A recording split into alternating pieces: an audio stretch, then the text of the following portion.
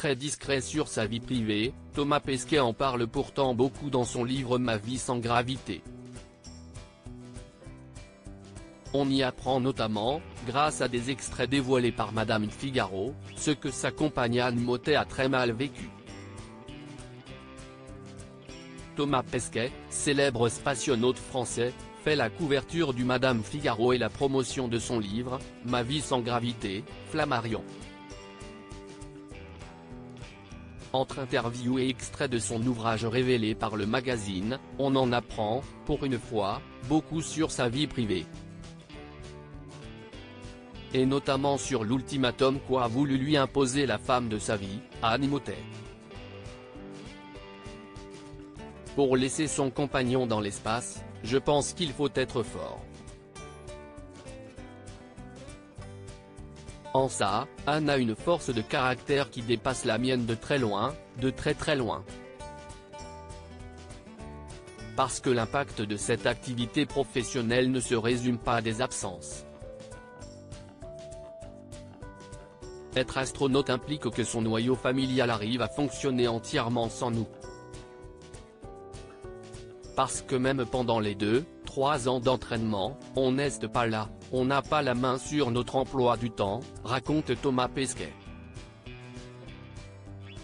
Et il est vrai que son quotidien avec Anne n'a rien à voir avec la plupart des couples.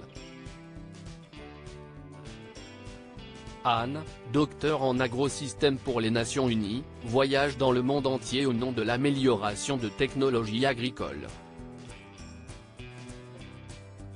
Il poursuit, le gros risque, si est que l'autre finisse par se dire qu'on n'est pas si indispensable à sa vie. Cet ultimatum qu'Anne a voulu imposer à Thomas Pesquet Thomas Pesquet et Anne Motet ont réussi à surmonter cela mais il y a une chose que la compagne du spationaute a vécu comme un traumatisme.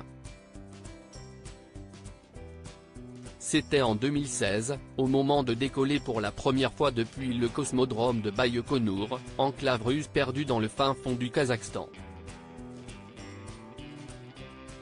Le compte à rebours était interminable et a longtemps hanté sa compagne.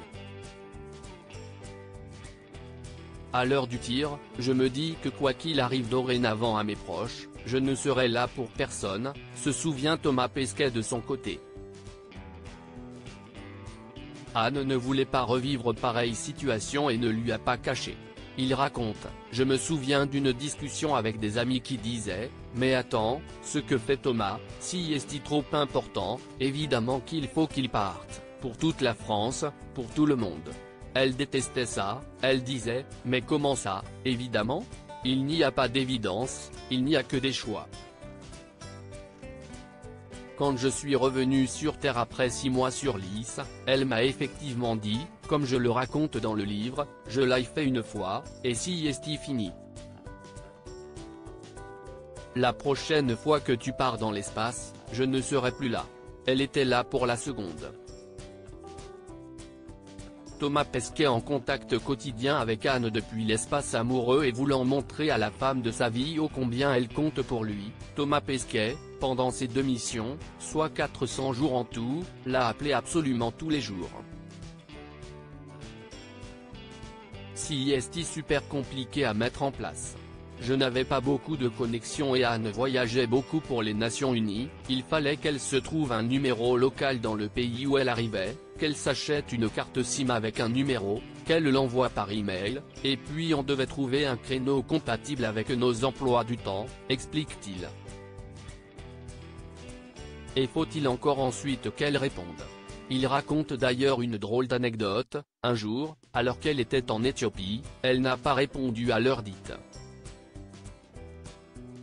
J'ai appelé la réception de l'hôtel pour leur demander de vérifier si elle n'était pas au bar, et j'ai insisté en disant que j'appelais depuis l'espace. Le réceptionniste ne croyait simplement pas. Il m'a demandé d'abord méfiant, mais monsieur, qui êtes-vous? Que voulez-vous? Un étonnement qui rappelle celui de Pierre Ninet qui avait lui aussi reçu un coup de fil improbable du spationaute depuis l'espace.